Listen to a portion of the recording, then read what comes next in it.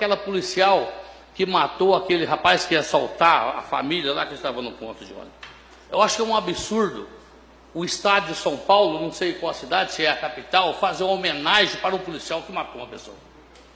Se o assaltante, se ele ia matar aquela pessoa ou não ia, isso nós não sabemos.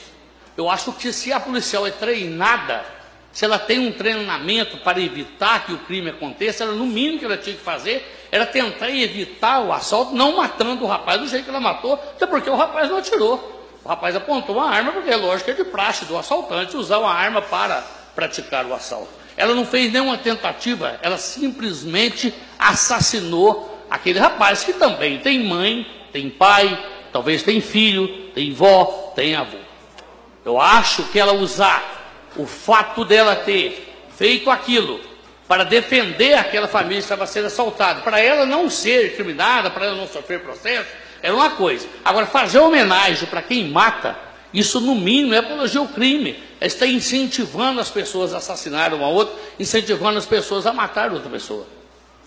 Eu acho que ela, pelo treinamento que a polícia militar tem, ela tinha condição de tentar impedir aquele assalto sem ter matado o rapaz.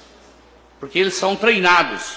Se o rapaz aí resolvesse ou atirar Aí sim, ela tinha que ter, poderia até ter matado o rapaz, talvez uma legítima defesa. Mas aquele rapaz, em momento algum, ele fez algum disparo ou disse que ia disparar. Ele usou a arma para efetuar o assalto. Agora logo já vai matando. Imagine se todo policial, todo policial que chegar onde tem um sequestro, onde está sendo acontecendo um assalto, chegar e dando tiro e matar, aí o que, o que, vai virar? A gente vê as negociações em sequestro, em grandes assaltos, a polícia chega e negociam, e chama o advogado, e chama a imprensa, ou ele vai lá e se rende, prende, ou enfim, atirar é o último caso. Não é igual o rapaz chegou, é um assalto, pegou, pum, mata o cara, aí vai fazer homenagem? Então, pelo menos que ela errou, que vai lá, que, que vai lá, que julga e ela faz a defesa. Agora, fazer homenagem para quem matou uma pessoa, isso aí é muito feio para o nosso país, é muito feio para o nosso Estado, e eu tenho certeza que a grande mídia deve estar escondendo, mas as críticas dos países subdesenvolvidos, do, do, do, do, mundo inteiro, com certeza, os grandes jornais, a grande mídia dos outros países deve ter feito uma, uma crítica uma, bastante severa em relação ao nosso país e ao Estado de São Paulo, em fazer homenagem para uma pessoa que assassinou a outra, independente do, do que aconteceu. Mesmo se o rapaz tivesse tirado a pessoa, ainda não seria correto ela tirar no rapaz e matar conforme matou. Muito obrigado, presidente. Ô, senhor presidente. Só, eu só gostaria de, de, só relembrar assim que no caso do, do Nadim lá, foram agentes penitenciários, não a polícia militar. Com a palavra, Frauzino. Senhor presidente, é, boa noite. Colegas vereadores, boa noite. Público presente, boa noite. Pessoal que nos assiste pela internet, boa noite. Eu até não ia falar, o vereador perguntou se eu ia falar, mas. Toda honra, toda glória sejam dadas ao Deus Todo-Poderoso, Criador dos céus e da terra. Excelentíssimo Senhor Presidente, nobres colegas vereadores, povo de Vitória da Conquista, da Bahia e do Brasil. Segurança pública é um tema de extrema importância.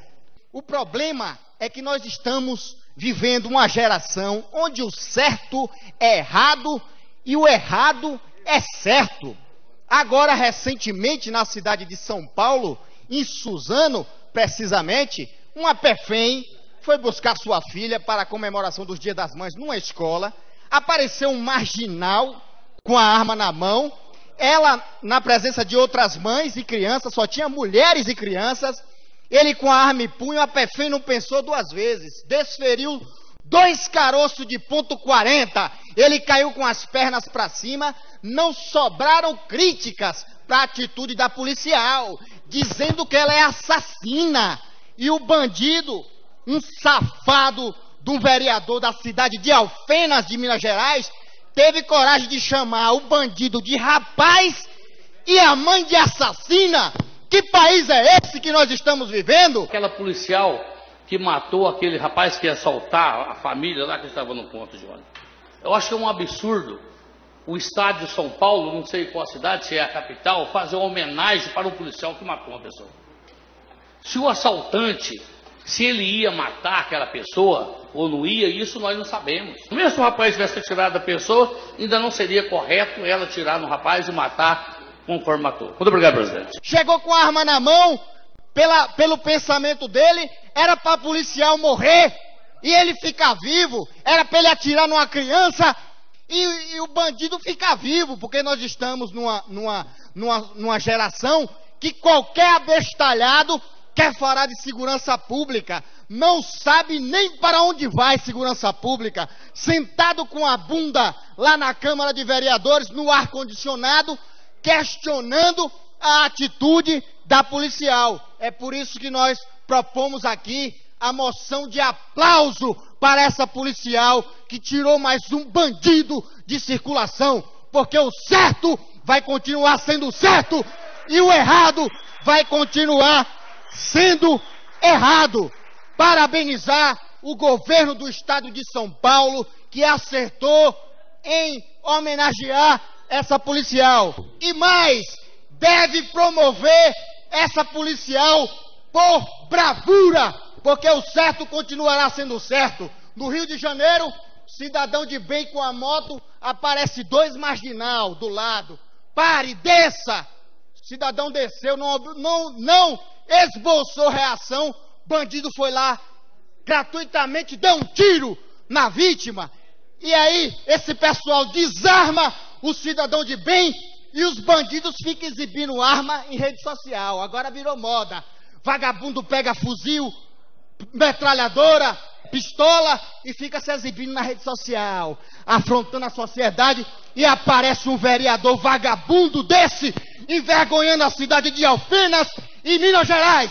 Daqui de Vitória da Conquista, na Bahia, nós mandamos o nosso repúdio para você, seu imbecil. Se você não sabe o que significa segurança pública, nem conhece a legislação, não fale besteira.